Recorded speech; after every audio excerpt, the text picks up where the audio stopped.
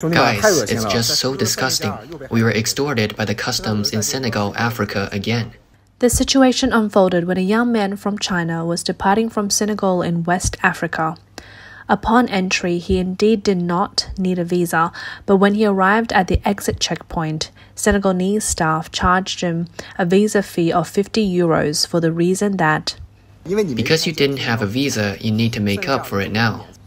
Isn't it said that Senegal offers visa free access for Chinese citizens? With no other choice and a flight to catch, the young man reluctantly paid the 50 euros, boarded the bus to the plane, and was seething with anger. The more I think about it, the angrier I get. I am really holding it all in. At this year's two sessions in China, members of the National Committee of Chinese People's Political Consultative Conference Dai Bing stated. Our country has signed visa exemption agreements with 150 countries. The value of the Chinese passport is increasing, and the number of travel destinations where you can just pack up and go is also growing. Upon hearing this, Chinese citizens were eager to test the true value of their Chinese passports. The video clips above are first hand experiences of Chinese citizens at the airports of one of the 150 visa free countries mentioned by the Chinese People's Political Consultative Conference, CPPCC. Another Chinese tourist also went to Senegal and posted a video at the airport. A disgusting incident just happened. We had checked online beforehand. Senegal offers visa free entry for our Chinese passports, but the visa officer still asked us to pay 50 euros for a visa. The officer said, What is said online doesn't count.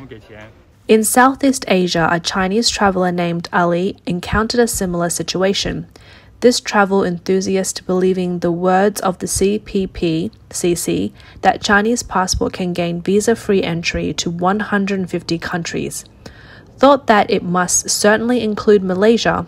So one day in March, while Ali was traveling in Thailand, he decided to enter Malaysia via a land border crossing by bike, intending to get a visa on arrival. We're about to enter Malaysia, currently at Sungai Kolok, a border town in Thailand. We'll bring our passports and process the departure procedures from Thailand in the hall. We're about to enter the immigration area of Malaysia. Let's apply for a visa on arrival. Oh no, friends, I can't apply for the visa on arrival. They won't let me pass without a visa. Originally, Ali planned to wait for the e visa at the Malaysian border and then enter. However, he was unexpectedly deported by Malaysian customs and had no choice but to return to Thailand.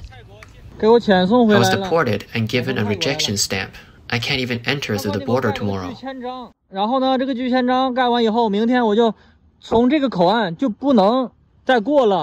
Let's buy a beer to drown our sorrows.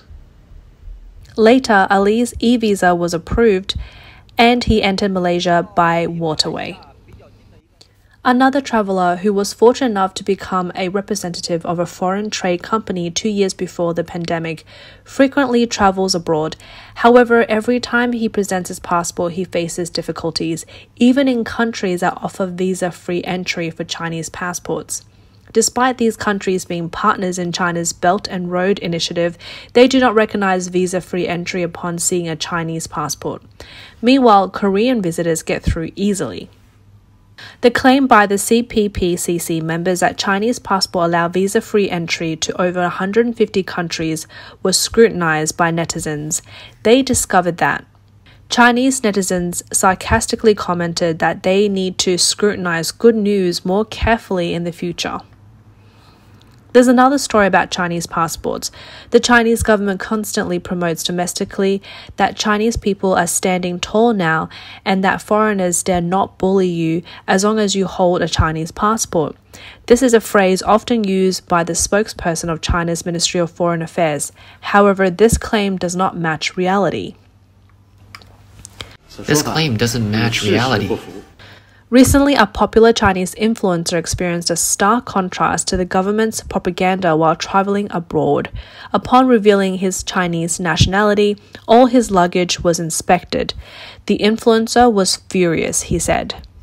I am extremely angry now. I didn't expect us Chinese people abroad to be bullied to such an extent, completely overturning our previous perceptions. All the Chinese people exiting are now also being asked to open their luggage. Let's watch this footage filmed by Chinese influencer abroad, specifically in Tanzania. All the Chinese passport holders at this exit are now being asked to open their luggage. All the luggage is thoroughly checked. Basically, they just want money, money, money, money, money.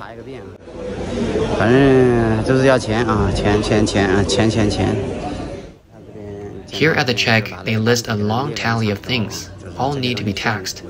As long as you pass through this place, you're bound to be fleeced. The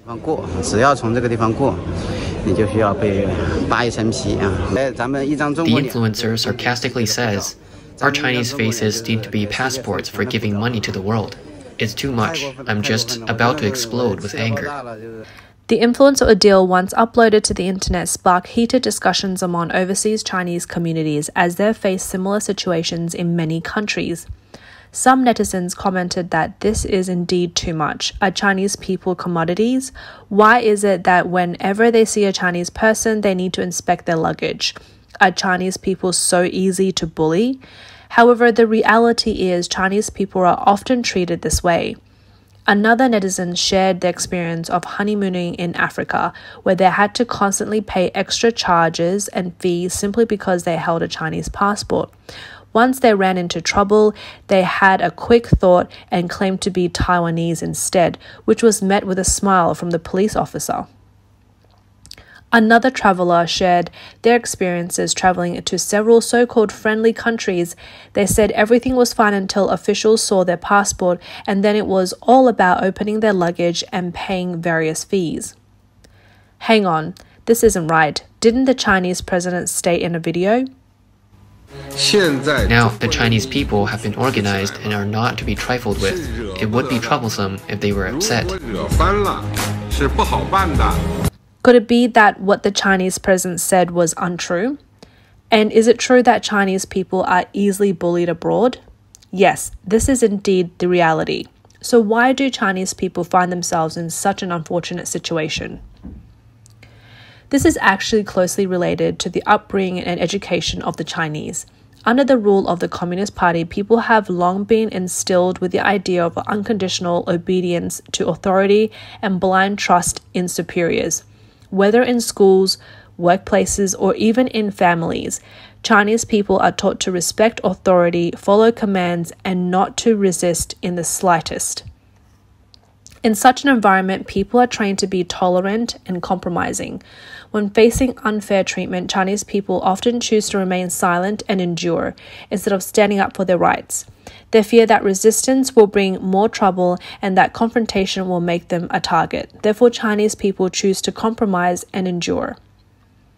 The mindset of tolerance and compromise is largely shaped by the brainwashing education of the Communist Party. For a long time, the party has used various means to make people accept and obey its authority, making people believe that tolerance and compromise are the best solution to problems. This mindset ultimately leads to the weakness and powerlessness of Chinese people when facing foreigners. That's why, even abroad, Chinese people often encounter bullying and difficulties because their mindset and behavior have been seen through by others. They know that as long as they put some pressure on Chinese people, they will choose to compromise, pay to solve problems, and will not choose to resist. This mindset is a product of the rule of the Communist Party and is caused by the party's culture of the Communist Party. Chinese people must recognize this clearly in order to truly change their destiny and truly gain dignity and freedom.